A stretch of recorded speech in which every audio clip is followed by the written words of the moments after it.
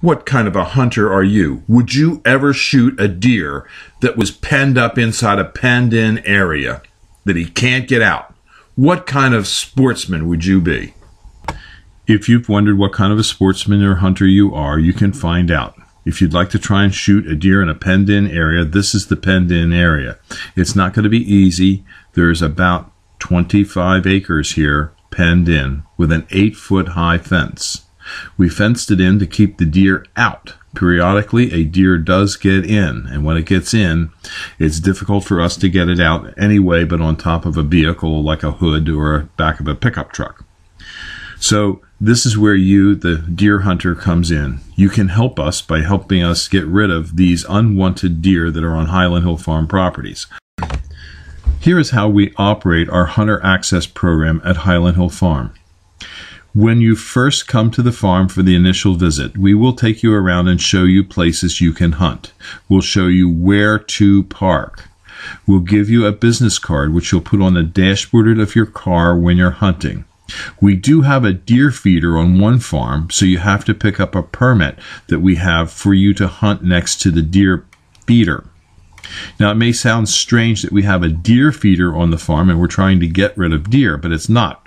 What we have is we, we have what we call a four poster system. It feeds the deer, but it also treats the deer for the Lyme tick that they carry. It's important for us that the deer in our area do not carry the Lyme tick. Our four poster feeder will eliminate up to 98% of the deer ticks on deer in an area over a given period of about a year to two years. So we're attempting to help knock down the Lyme tick population as part of our biosecurity protocols here at Highland Hill Farm. Each time a hunter comes, we ask that they bring us something in trade for hunting that we can use on the farm. Here are some items that we could currently use if you would like to bring us something. Two gallons of antifreeze, a roll of barbed wire, an old iron crowbar, old fence posts that are usable, like wood, locust, cedar, pressure treated, or some iron fence posts. We could use a couple quarts of gear oil. We could use a gallon of 10W motor oil. We could use a gallon of hydraulic fluid for Kubota tractors. We also need Remington 35 ammo. Ammo is getting very tough to get. So if you could bring us some ammo, we could use some Remington 35 shells. We could also use a couple boxes of buckshot. You can also hunt on the other side of the road where we have another part of our nursery.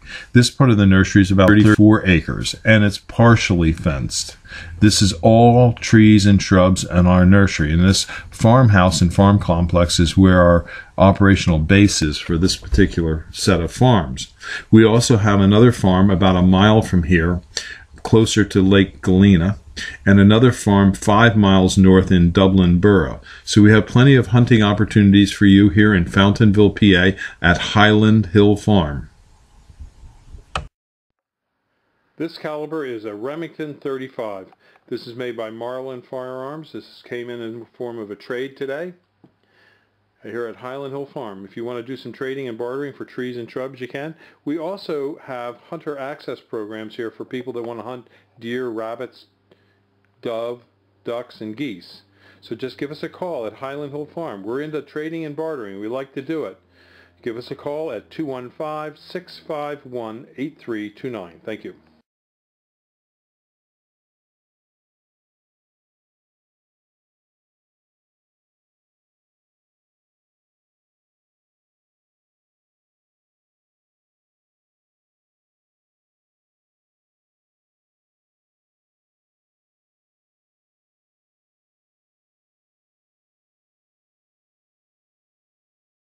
This video is brought to you by Highland Hill Farm. We grow and sell screening and buffering trees for privacy and sound barriers.